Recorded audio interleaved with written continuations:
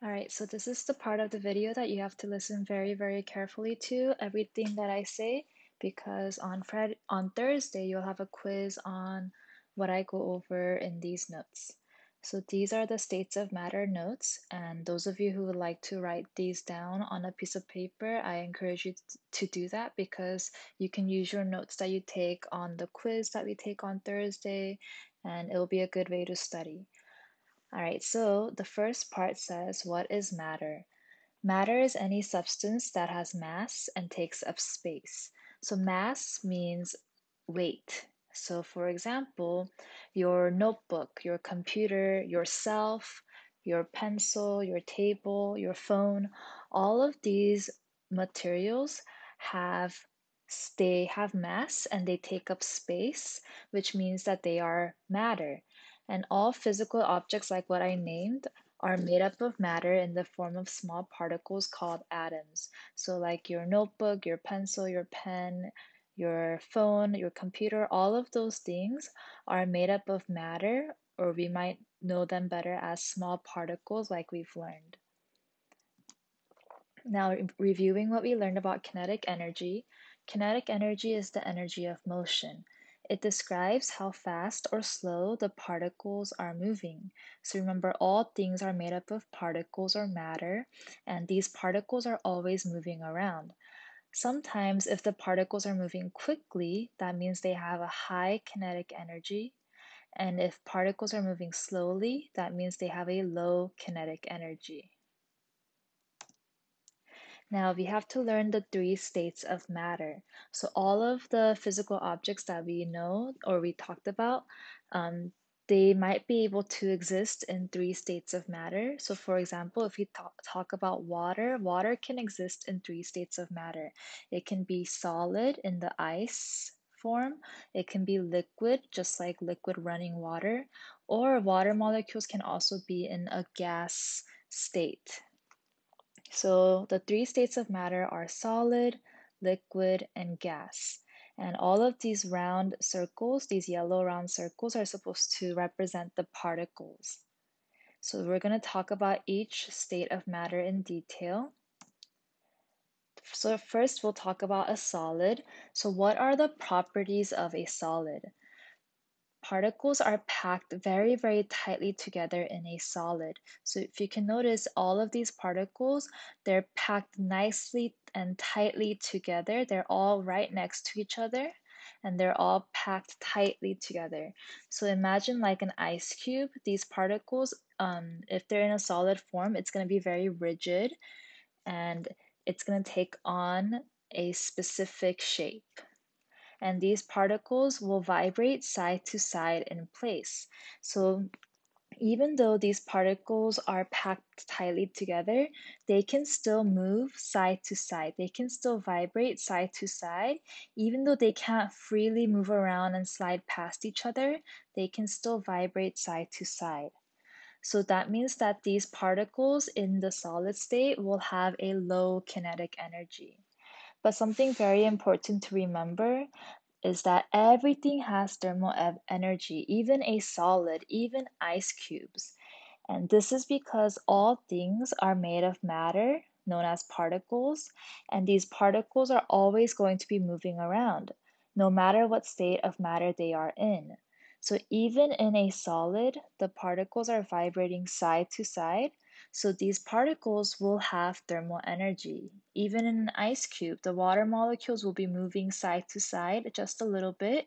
So even an ice cube will have some thermal energy. The next state of matter is a liquid.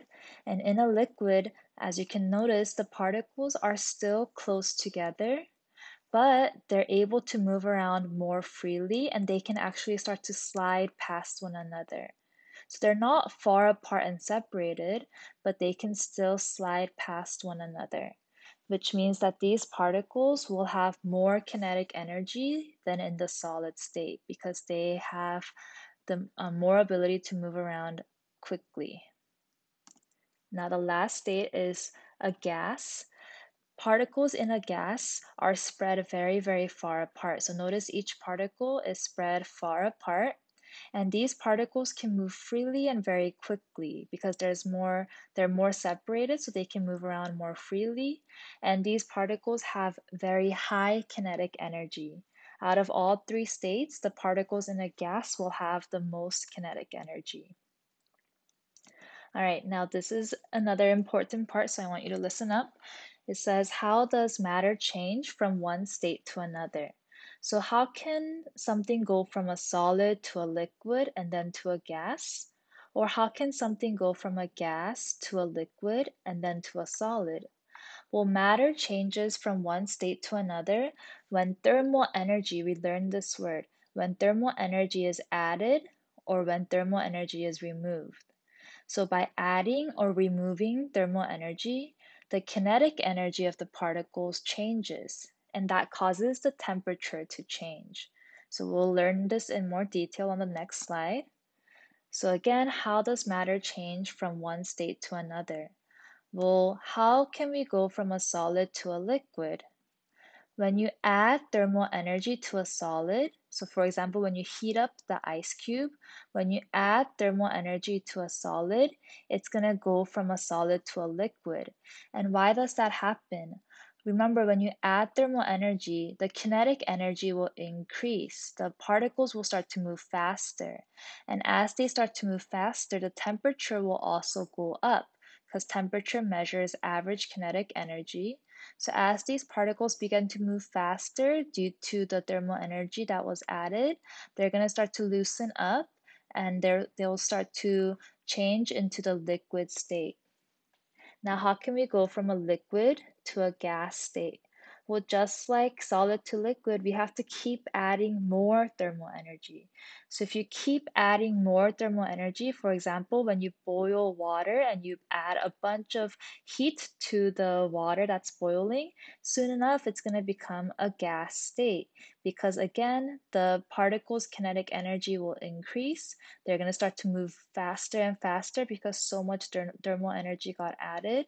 And this will cause their temperature to go up and then it will change into a gas state. Now, how about going the other way? How can we go from a gas to a liquid? Well, it has to be the opposite of adding thermal energy. If you want it to go from a gas to a liquid, then these particles need to slow down. You want to make these particles move less and less so that they can start to get close together again. Well, how can you make them move less? Well, you need to remove. You have to remove thermal energy. So when you remove thermal energy, these particles will start to slow down and their kinetic energy will decrease. And when their kinetic energy decreases, that means that their temperature will also go down. And that's how you go from a gas to a liquid. You make these particles slow down, you make it the temperature go down by removing thermal energy. Now, how can we go from a liquid to a solid? Again, same thing, we have to remove thermal energy. So imagine putting liquid water into the freezer.